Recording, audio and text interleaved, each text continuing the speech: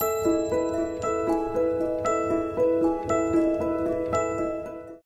每时每刻爆点你想要的。Hello，大家好，我是软妹。传说中的 iPhone 八可以说是今年大家最关注的机型。那么它到底什么时候来，又到底长什么样子？各种传言说法不一。现在又来了一个不太好的消息。巴克莱银行的多位分析师指出，iPhone 八虽然会按常规在九月份的秋季发布会上推出，但初期的供应量会非常有限，正常供货可能要等到第四季度才会有所改善。至于发布后只能当做花瓶来看的原因，分析师们指出，iPhone 八的制造工艺太复杂，产能并不会非常乐观。另外，iPhone 八的成本和价格都会大幅增加，难道真的要变成万元机了吗？关于 iPhone 八的命名，之前我们听说过 iPhone X、iPhone Edition 等各种名字，现在这几位分析师表示，苹果可能会用 iPhone Pro 来命名，大家改微信昵称都要纠结很久，想必苹果此时也在纠结到底用哪个名字吧。结合此前消息，秋季发布会苹果会同时推出三款设备：iPhone 7s、iPhone 7s Plus 以及全新的 iPhone。虽然 iPhone 7s 系列整体变化不会太大，但新系列至少支持无线充电。